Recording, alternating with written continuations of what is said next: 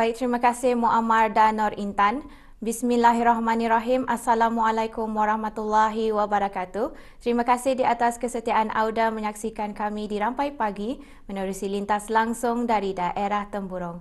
Auda, apakah perkabaran Auda pada hari ini? Hari ini adalah hari Isnin, 2 uh, Syakban 1445 Hijrah bersamaan dengan 12 Februari 2024 Masihi dan diharapkan agar Auda sentiasa di dalam keadaan sehat walafiat hendaknya. Dan auda keadaan cuaca di daerah Temburong di sekitar Pekan Bangar adalah cerah jadi diharapkan dan didoakan agar segala perancangan yang auda rancangkan pada hari ini berjalan dengan lancar. Dan auda sebelum kita menyaksikan bahan visual terdapat satu informasi yang ingin diberikan iaitu mengenai pendaftaran petak jualan masih lagi dibukakan kepada pengusaha-pengusaha yang berminat untuk uh, mengikuti program Ketemburung Bisai edisi uh, Hari Kebangsaan yang ke-40 yang akan diadakan pada 29 Februari hingga 3 Mac 2024 nanti. Dan tarikh tutup bagi pendaftaran dan pembayaran adalah pada hari Khamis depan iaitu pada 15 Februari 2024.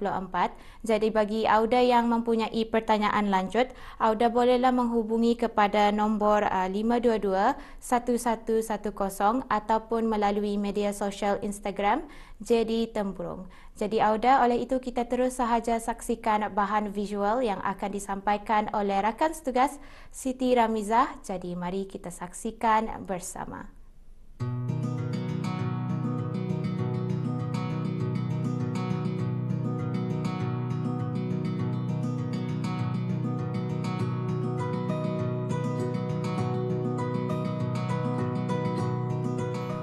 Pokok gaharu merupakan sejenis pokok yang hidup subur di hutan tropika dan telah dimanfaatkan oleh masyarakat dunia sejak dahulu lagi. Semua bahagian pokok gaharu dari batang, kulit, daun, bunga, buah dan rantingnya digunakan untuk menghasilkan produk minyak wangi, ubat-ubatan, teh hijau dan kosmetik.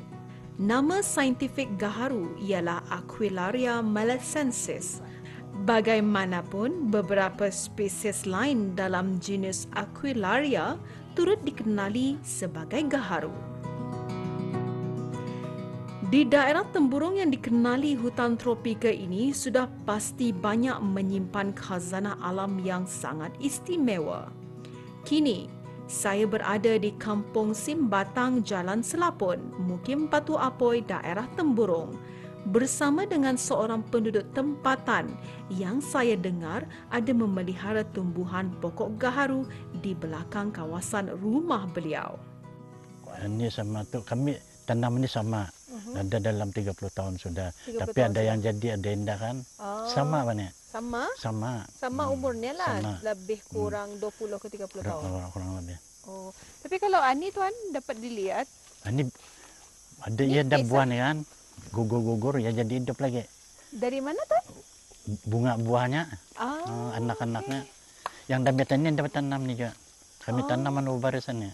Jadi hmm. untuk menyamai ataupun membuat uh, menumbuhkan lagi pokok gaharu tu anda perlu ni orang dengan usaha sendiri kalau ia punya buah tu gugur oh, pun ada. sudah boleh membuahkan tumbuh. hasil tumbuh, tumbuh sendiri ha. oh jadi auda tu sangat unik sekali sebetulnya hmm. untuk mengetahui mengenai pokok gaharuan ni ya jadi kalau ani lebih kurang yang masih damit lagi mungkin dalam lima tahun Dah.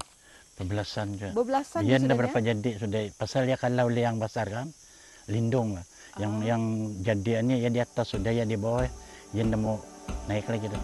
Hmm.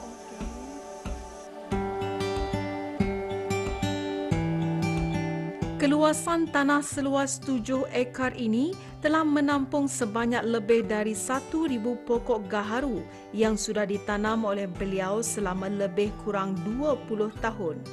Kebersihan kawasan tempat ini juga masih beliau jaga dan pelihara agar ianya tidak semak oleh rumput-rumput yang tumbuh di sekitar kawasan tanaman pokok-pokok gaharu ini. Ada jual ada. Ada jual?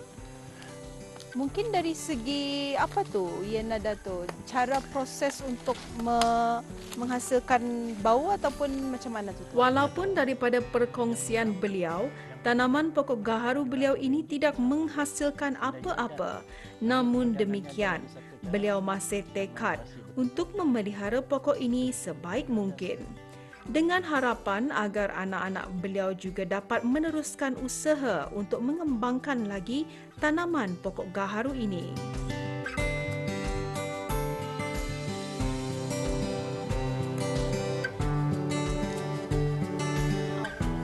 Seperti yang dikongsikan oleh beliau, sebanyak dua kali percubaan untuk menggunakan teknik bagi menghasilkan aroma dan minyak harum dari pokok gaharu ini.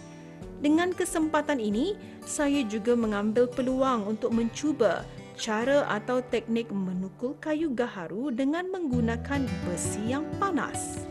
Gawada sebetulnya untuk ketani memasang api ini bukan saja untuk menyalai ataupun barbecue, tapi ketani menyalai basi. Basi ini digunakan untuk menutuk ke dalam pokok gaharu. Tapi uh, seperti yang dapat dikongsikan, teknik tersebut merupakan teknik yang kurang membuahkan hasil. Tapi ini merupakan teknik yang kedua lah yang pernah dilakukan oleh Tuan Ahmad sendiri.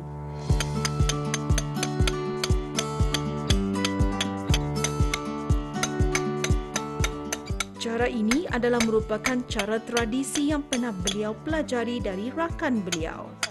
Dengan cara ini juga, keselamatan adalah perkara yang sangat utama untuk diberikan perhatian.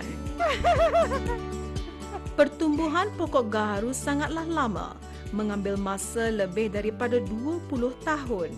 Mengikut kajian, pengusaha gaharu di negara jiran boleh dibilang dengan jari kerana tidak ramai yang berani mengambil risiko walaupun diketahui hasilnya mampu memberi pulangan lumayan iaitu untuk menjadikan produk minyak wangi gaharu.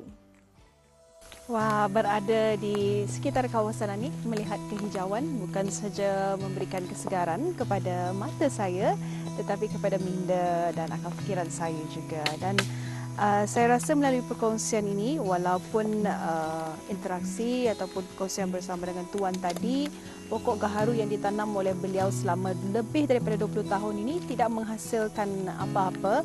Namun uh, siapa sangka nanti uh, di tahun kehadapannya mungkin dapat membuahkan hasil. Jadi Auda sampai di sini saja kita berjumpa. Untuk itu assalamualaikum warahmatullahi wabarakatuh. Hingga jumpa lagi